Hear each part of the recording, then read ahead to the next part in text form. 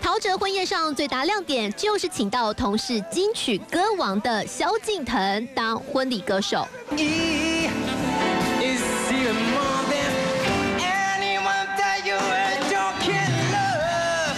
爵士蓝调，老萧唱的轻快，陶太太 Penny 也听得陶醉。你以为这是萧敬腾第一次当婚礼歌手吗？错错错！其实早在前一天，他就已经在甘地的婚宴上献唱。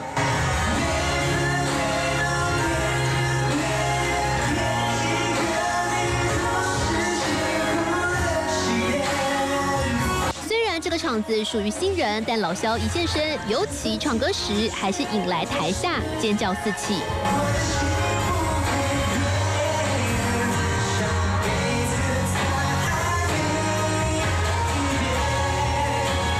透露出道七年的萧敬腾，其实一直有人请他当婚礼歌手。从台湾、大陆最远到威尼斯，至少有十几对新人好友邀约，但老萧怕场面 hold 不住，一直婉拒。这回一接下就连唱两晚，他坦言感觉还不赖，比演唱会还轻松。